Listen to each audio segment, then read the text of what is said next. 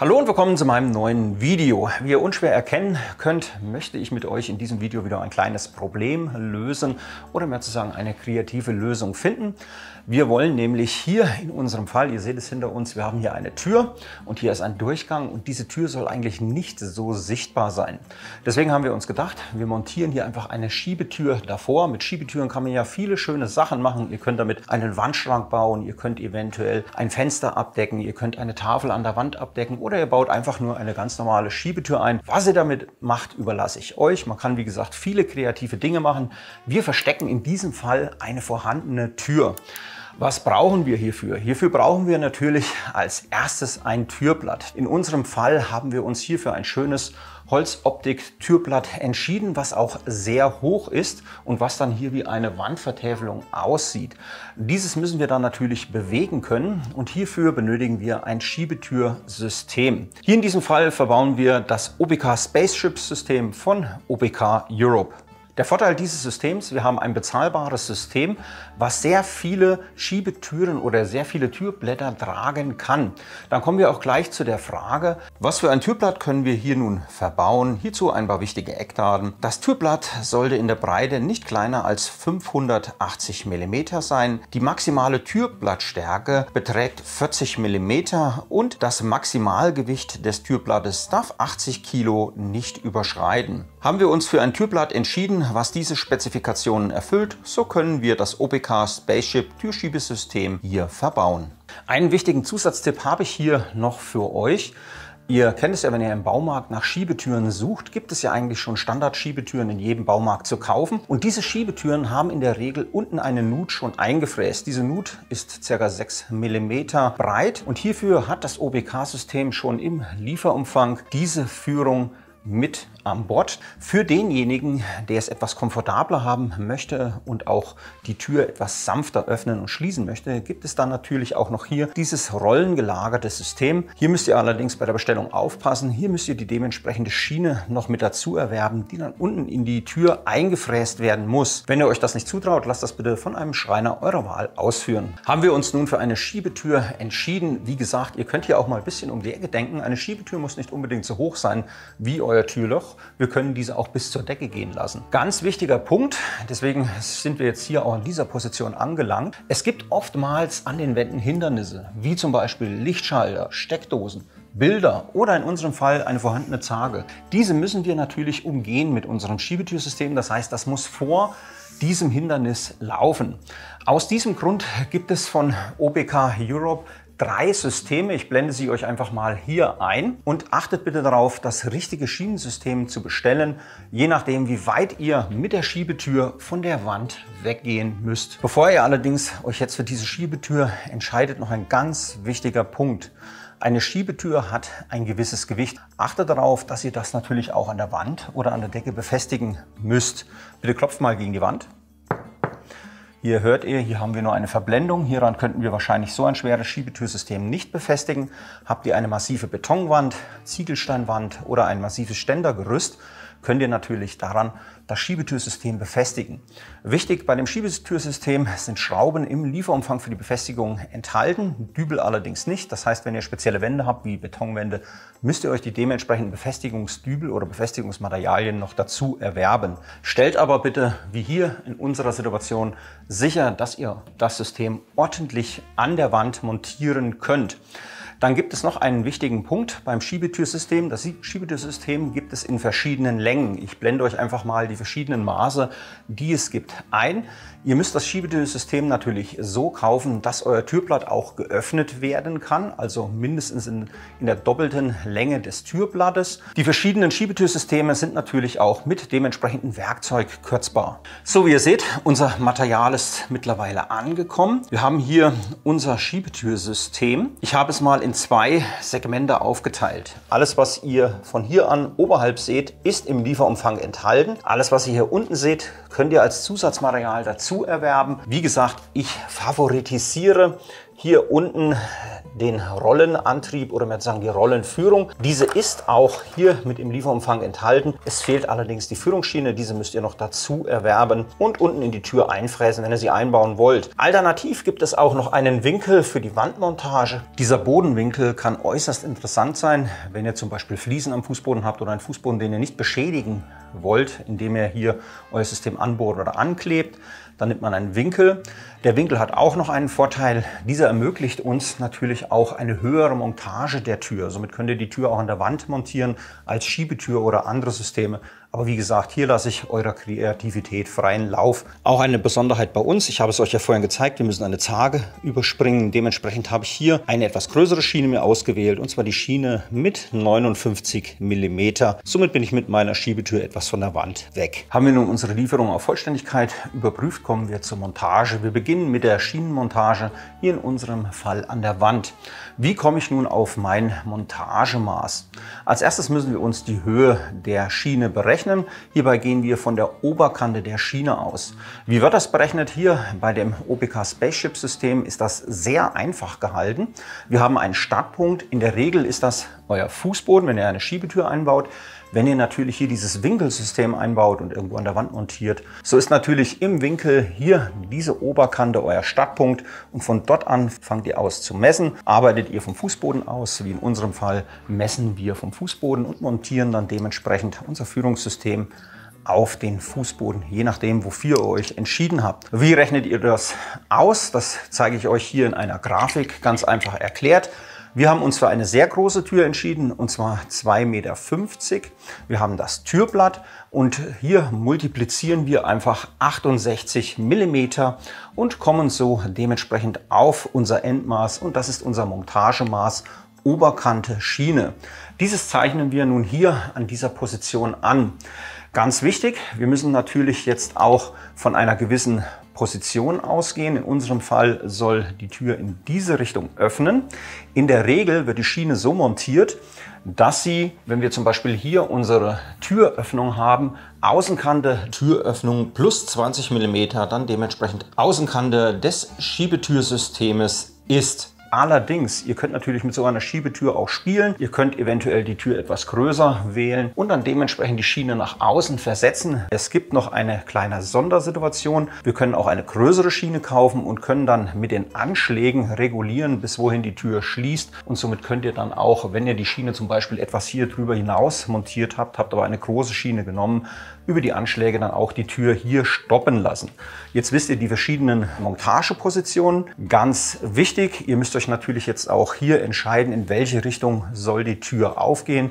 In unserem Fall in diese Richtung. Dementsprechend messen wir jetzt einfach unser ermitteltes Maß hier, machen einfach einen Wasserwaagestrich und halten die Schiene hier oben an. Achtet bitte darauf, die Schiene muss wasserwaage montiert werden. So, wir haben jetzt unsere Höhe und unseren Endpunkt hier angezeichnet. Das heißt, wir wissen, wo unsere Schiene hinkommt. Jetzt hat uns der Hersteller hier die Arbeit abgenommen und hat hier viele Befestigungslöcher vorgebohrt. Ich empfehle euch, bei schweren Türen wirklich alle Befestigungspunkte zu nutzen. Wie zeichnen wir diese an? Wenn wir zum Beispiel in einer Steinwand vorbohren müssen, bei einer Holzwand könnt ihr hier einfach jetzt direkt durchschrauben.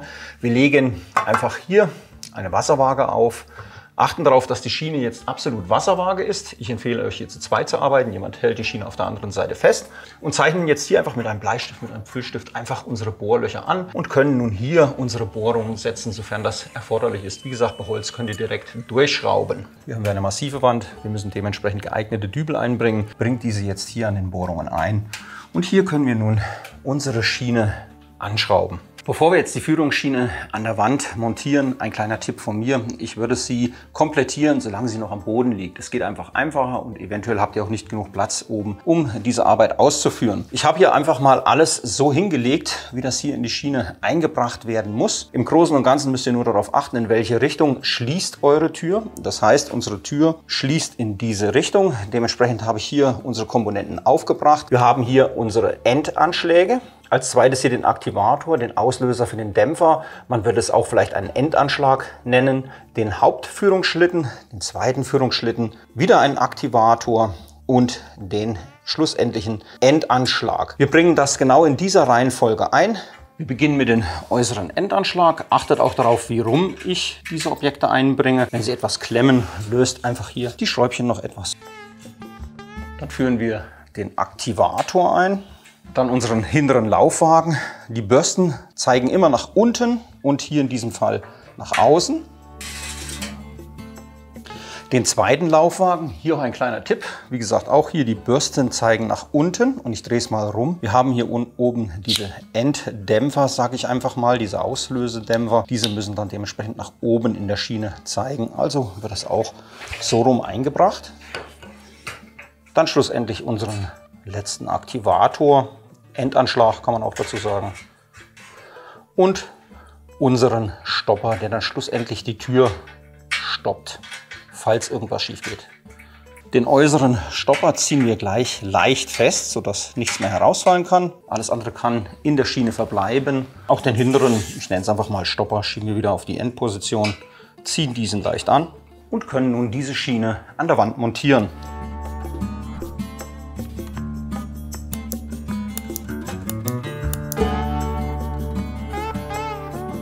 Haben wir die Führungsschiene an der Wand montiert, kommen wir zur Komplettierung unseres Türblattes. Habt ihr das Türblatt im Baumarkt erworben und es besitzt schon eine Nut hier unten eingefräst und ihr wollt das einfache System hier verwenden, ich halte es euch einfach mal in die Kamera, könnt ihr dieses Kapitel einfach überspringen, schaut unten in die Timeline und springt zum nächsten Kapitel. Habt ihr euch auch, wie wir, für die etwas bessere Variante entschieden, das heißt die Führungsschiene mit geführter Rolle, so müsst ihr diese hier einfräsen.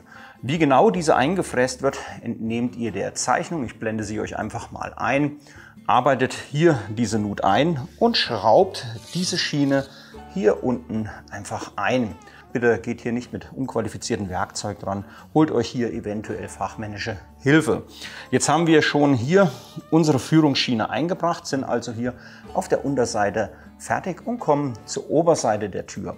Wichtig, legt die Tür so auf den Boden, dass die Vorderseite des Türblattes zu euch zeigt und achtet bitte auch darauf, wenn ihr die Tür ablegt, dass er sie natürlich am Boden nicht verkratzt. Legt eventuell nochmal irgendwas darunter. Kommen wir im nächsten Schritt zur Oberseite der Tür. Hier ist es wichtig zu wissen, was ist vorne, also außen und was ist innen. Wie gesagt, das ist die Außenseite und hier habe ich die Befestigungen für die Oberseite mal hingelegt. Diese müssen richtig rum montiert werden und an der richtigen Stelle.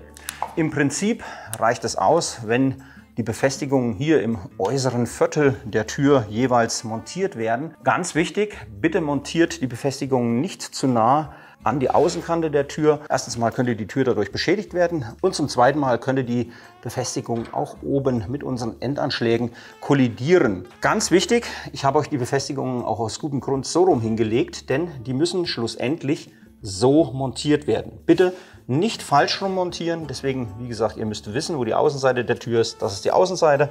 So rum müssen sie montiert werden. Und von der Außenkante mindestens 24 bis 25 mm wegbleiben. Wir montieren diese Aufnahmen mittig und verschrauben sie mit der Tür. Die Schrauben dafür sind nicht im Lieferumfang enthalten. Hier müsst ihr Schrauben verwenden, die für die Tür oder das Türblatt geeignet sind.